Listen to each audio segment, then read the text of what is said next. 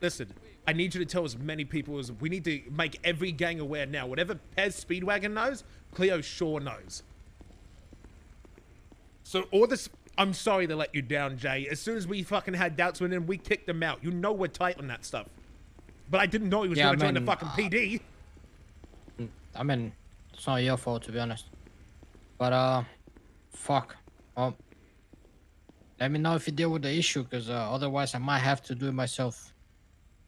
What you need to do is you need to warn everyone that that you know of about Pez Speedwagon, so people can start hiding their shit or reorganizing or replacing anything. Anything that pet that they know Pez Speedwagon knows, Cleo Short needs to be needs to be fucking getting rid of. I don't think these guys understand how big they fucked up. Leave a blooded in gang, then fucking go and join the PD with all the secrets they know. I hope they know what's fucking coming. Do, do they do they honestly think that we're not going to do anything about that?